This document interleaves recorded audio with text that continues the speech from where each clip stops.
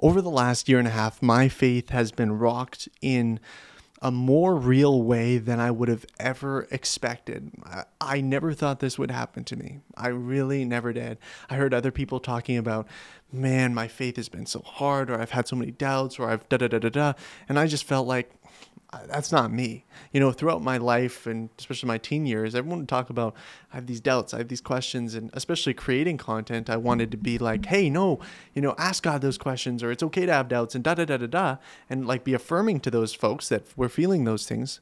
But for me, I just didn't experience that. Sure, I had my anxieties about whether God was going to provide in one area or another, but in terms of the overall scope of God's story, I knew that was true. I knew that, you know, Jesus really did come and really did die on the cross and really did die for my sins. And I, I knew that God created us and all those things just seemed really just to make sense to me. While other people had more struggles and questions, da da da da da, I just felt like makes sense.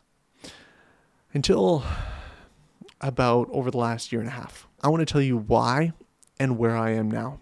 Okay, so I, I, I don't want you to be concerned, but I want you to listen. And hopefully, this will help you engage with your faith in a more authentic way. Okay. Over the last year, um, we have found out that my mom was um, diagnosed with cancer again. For some of you that have been following the channel a while or know, you know, more about my life personally, um, my mom had cancer about five years ago, and it was stage four. It was very serious. Um, God healed her from that, um, but it is either returned or come back in some different fashion, and and it's even more serious this time. And so, well, you know, people have been asking updates because this isn't the first time that I've spoken of this. Um, she's doing well. Um, she's she's getting treatments necessary, and uh, you know she personally and uh, spiritually and emotionally is doing is doing really really well. So thank you for all your prayers for her, and continue to pray for her healing in that area as she undergoes treatments and all sorts of things like that. But that has been really really challenging, among a number of other things that have shaken me that have shaken me emotionally, personally, relationally, um, have hit me in in my core, really. Okay, and I, am just going to be vague about that because they are personal, right? But I, I want you to know that that they were extremely real. Okay, and and um, and they caused me to you know need to go to therapy honestly. Like that was that's the truth of it. And i don't think you should just go to therapy when you're really in the pit. But uh, i do think if you're not already going to therapy and you're in the pit then you know you should start going. And so that's where i was. I was getting angry at god. I, I told my wife this that i was angry at god. And I, i'm sure that was it was scary for her. But for me i just had to be honest and say you know what? I, I think i need to deal with some things because I had some expectations of what I thought God was going to deliver me and was um, what I was entitled to. And I haven't been given those things. And in fact, God has shortchanged me in some ways. That's how I felt. And so then I looked at God and I just said, God, like, are you there? And if you are, how can you be good? And how can you be loving? And how can you really be a good father? I don't feel your love. I don't feel your presence. I feel like I'm at the end of my rope, actually. For real, for real. And I would call this next this next season of life exploring doubt. Exploring doubt. So in the midst of this kind of war within, right? Because I knew uh, there was frustration, there was anger towards God and just life in general. In the midst of exploring doubt, I began to watch different videos of people that were deconstructing, the people that were questioning their faith to the degree where they were taking off core fundamentals of the faith. This wasn't unusual for me. I've debunked people that were deconstructing their faith, people that have accusations against Christianity. I know all the apologetics connected with it, but it wasn't about apologetics for me. It was much more philosophical than that. It was about, well, if God is good, then why is this happening? And the common answers that I would get, and honestly, that I would give, didn't feel satisfying. They didn't feel satisfying. Why? Because they didn't squelch the pain. They didn't stop the pain. They didn't stop the pain. I'm at rock bottom. I'm struggling. I haven't shot, I'm not shooting any videos right now. I'm reading a few books. I'm watching videos about people deconstructing and people just really honestly um, turning away from their faith because it feels good because it feels like, yeah, I relate to this. This this makes sense to me. But at the same time, if I was honest with myself, I knew, Isaac, who are you kidding? You know God is real. You know that Christianity is true. You know that that God's being really patient with you right now, even though you're angry at him. And you you know that you should just start from the beginning. So that's what I did. I started with Christianity 101. Some of what turned me off in, in this stage was was continually hearing like theological debates that really got in the weeds, that really divided Christians, that really like were like, we got to talk about every little minute theological issue and we got to make this the hugest deal ever. And at that point, I was like, well, is any of this true? Like, are you guys just totally wasting your time? So I got back to Christianity 101. What is the gospel? What is what, what was I made for?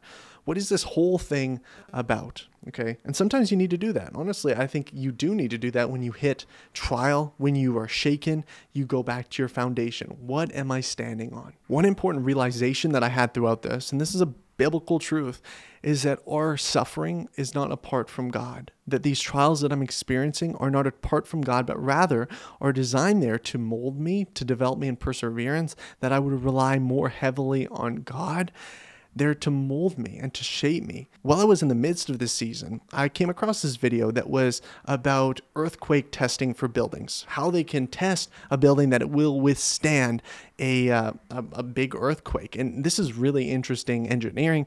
I'm not super familiar with the ins and outs of this, but the video actually, God used the video to teach me something very important about my own spiritual walk. The first and most obvious thing is that it really mattered what I was building my life upon, what foundation I had what I realized was the foundation that I was operating on, at least in part, was faulty, was faulty. And it was about the good Christian mindset, the good Christian mindset. I'm going to be a good guy. I'm going to do the right thing. I'm going to be responsible. And yes, Jesus died for my sins. Yes, I'm forgiven by him. But still, it's about me, me being a good, responsible Christian man, and God will bless me because of that, right? Isn't that the message of Proverbs? Isn't that what it's about? But what we often do is we we take Proverbs, but we don't think about Ecclesiastes, right? Those things go in pair. It's that you know, hey, sometimes you're working and you're doing the right thing, but it still doesn't turn out for you. Why? Why is this? Like, are we guaranteed that we're going to have this amazing life just because we do things the right way? What happens when we experience trials? I had this mindset that as long as I was a good guy, as long as I was a Christian, as long as I was responsible, then everything would be great. What happens when it's not? You have two choices in that situation. You become bitter because your foundation isn't all that it's cracked up to be, and you suppress and you suppress and you suppress, and you wait until an earthquake hits that's actually going to knock your whole building down or you just pray that never happens.